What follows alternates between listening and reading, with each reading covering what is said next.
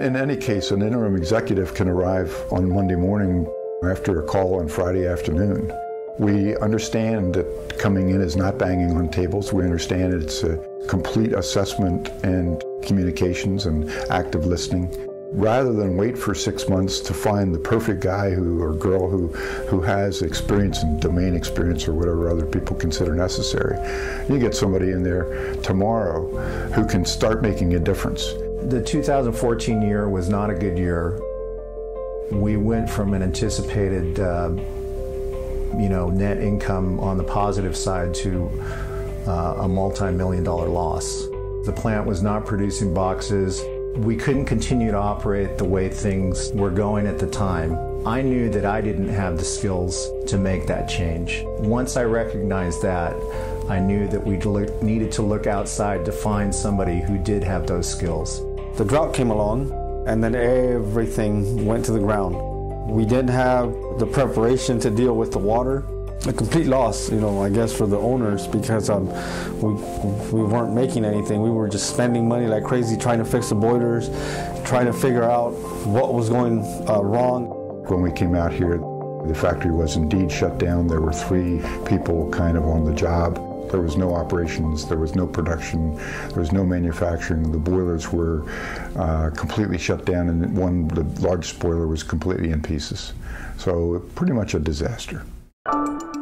We made the decision to bring Dick on board. We were able to find people with the technical expertise to come in, help address our issues, and within a few weeks, we were back in production.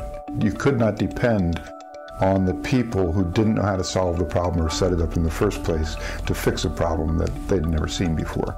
We thought, okay, well, these people have a limited amount of resources because some of the things they don't know and they wish they could help, but they're not doing it. So I'm going to get outside help and give them the resources so they can they can do a good job. I did have the advantage of having grown up and worked in farming and ranching, knowing that irrigation and water are critical and that there are outside solutions that can be brought in on the back of trucks. Within two weeks, we had some things on flatbed trailers, filters, the ability to um, make sure that the water would be acceptable to a boiler. He wanted to integrate, you know, the people that had been working here for a long time and just create a good team. He believed that expertise was already here, but that people, you know, at the top level weren't listening. You don't walk in knowing the answers to things. Many of the people who've been here for years have been doing these things for years. They may not have the perfect answer, but they've been watching it and they've seen what's successful. He set about to make a change of our culture here, a change of more cooperation, more quality driven. It's really permeated throughout the whole company. The year before was a disaster. They were already $2 million negative. And at the end of the year, we were, let's say, $5 million positive, even including the $2 million that was negative in the first part of the year.